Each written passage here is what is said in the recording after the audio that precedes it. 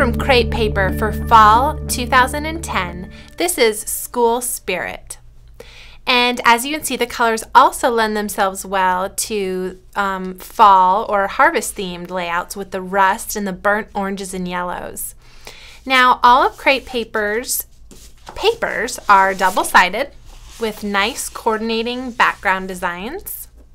And the backs of the paper is a smooth, heavyweight paper, and the fronts have a very slight linen texture. So when you're laying down your adhesive, it'll adhere really nicely to the front of these papers. And there's also the one coordinating die cut 12 by 12 paper with the zigzag edge.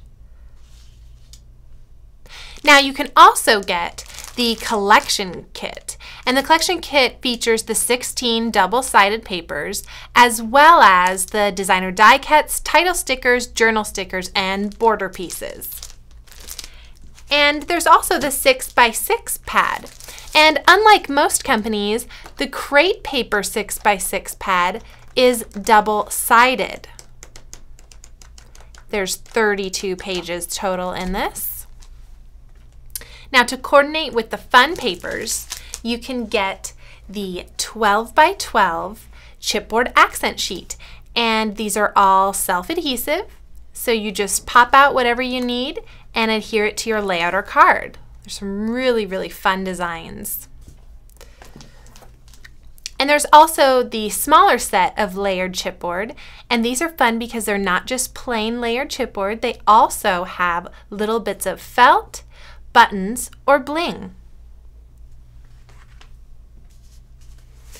Now for stickers, there's the border cardstock stickers and the phrases and elements.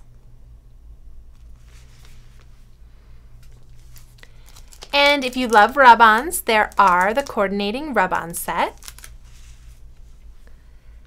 And last but not least, the sew brads. And there's 10 total brads, and some of them are the fabric, and some are the metal rimmed epoxy.